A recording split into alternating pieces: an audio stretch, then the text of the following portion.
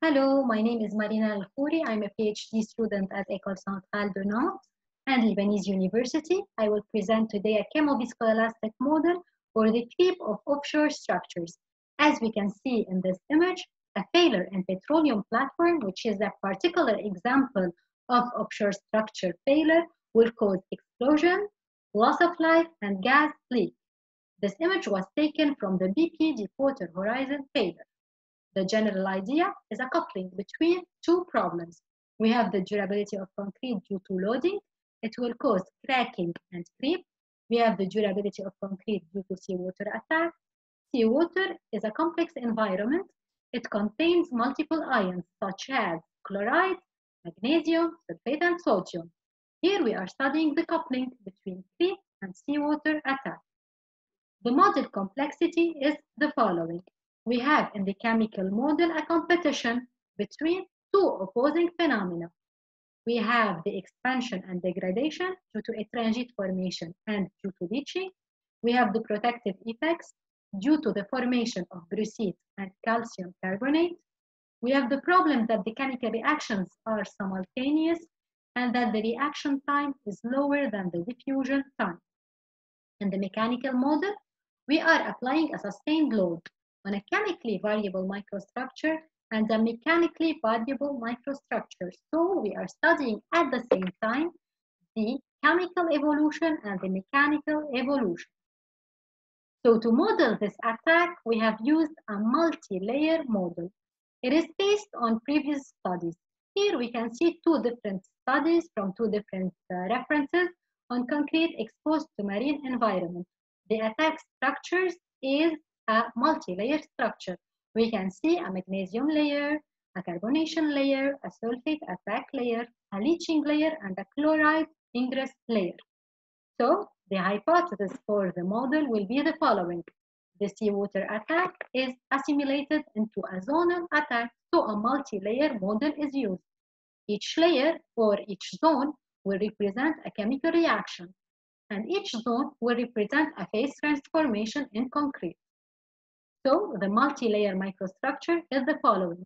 We have six layer where we have six equations, six reactions, and we have the seventh layer, which is the unattacked hydrated layer.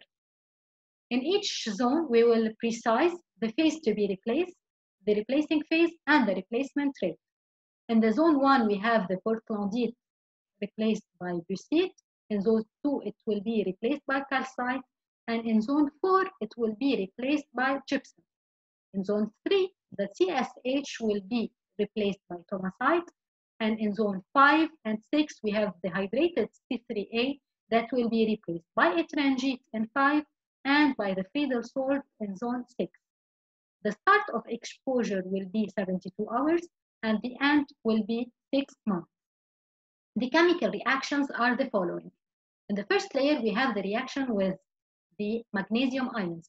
It will lead to the formation of brucite. In zone 2, we have the portlandite that reacts with CO2 to form the calcite layer.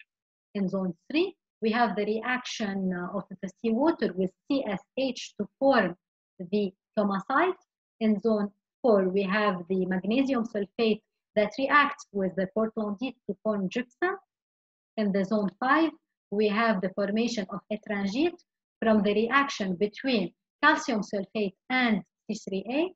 In zone 6, we have the formation of Friedel salt from the reaction with the chloride ions. And at the end, we have the unattacked hydrated cement. The mechanical model will be starting by the microstructure regeneration. And on this microstructure generated, we will do the model, the damage model and the creep model. The simulation will be conducted on 2D representative volumes. This uh, volume will be 100 micrometer. Each voxel from this volume will be one micrometer and each voxel will represent one cement phase.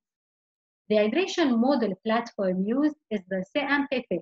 The CMPP is coded in C++ language and the CMPP is based on the CEMID 3D and it was defined in the works of Hilloulin in 2016. The generation of the microstructure will use as input the cement phase properties and the water to cement ratio. The microstructure generated will be an input for the finite element code Cast3M. Cast3M is the code used to do the mechanical behavior of a structure. The damage model used is the isotropic model. This model was developed in the works of Fichant in 1999. On the generated microstructure, a load is applied.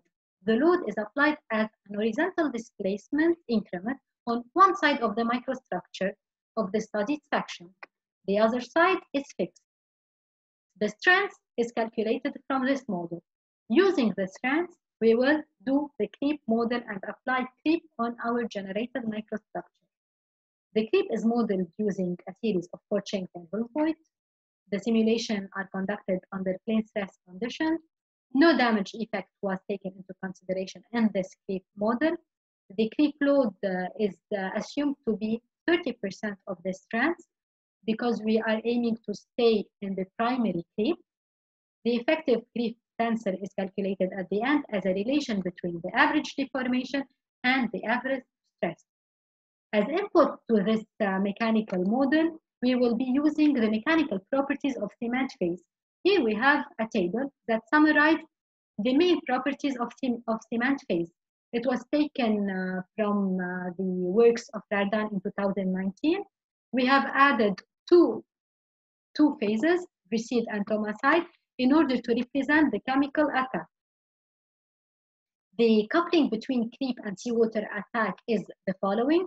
We will start by using the CMPP. In CMPP, we will define the cement composition. We also will define the phase to be replaced and the replacing phase and the replacement rate. This way, we will have at the CMPP layer a coupling between hydration and seawater. So the output will be an attacked microstructure. This microstructure will be used as an input to Cast3M model to the mechanical model. In this model, we will use the microstructure, we will define the load, and we will use the mechanical properties of cement phase. This way, we will calculate the strength of the microstructure and the creep. This coupling between CMPP and Cast3M has been done previously in the works of Hilloulin in 2016. For the cement composition, we have used an ordinary Portland cement. The composition is shown in this table. In fact, according to the European norms, seawater is classified as a class XS, and permanently, permanently immersed microstructures are studied, so it is a class XS2. According to the European norms, W over C maximum will be 0.45, but in order to accelerate the degradation, in the experimental study, we have used a water to cement ratio equal to 0.6 and an ordinary Portland cement. To do the calculation, we should define a representative elementary volume. From the literature, we have uh, the works of Rardan in 2019. The REV should be higher than three to five times the diameter of the biggest inclusion, which is 60 micrometer. So the REV should be 200 micrometer for the unhydrated cement. But in our study, we have done a comparison between the fraction volume in the 2D sections and in the 3D sections. And we have compared these two. The percentage of hydrated phases to be transformed and formed must be identical between 2D and 3D. After multiple trials, we have found that an REV of 100 micrometer is representative. So we can see here in this graph the volume fraction for the porosity and the CSH form. If we do the comparison between the 2D sections and the 3D, we can clearly see that the two curves converge. So we will use in our study 100 micrometer for the REV.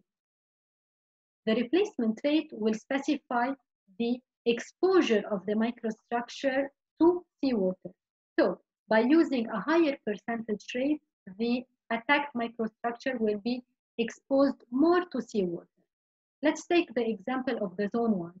If we replace CH into brucite, so a percentage P of CH will be replaced into brucite.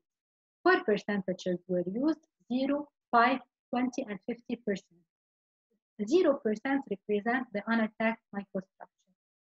And we will compare the three percentages to this unattacked microstructure.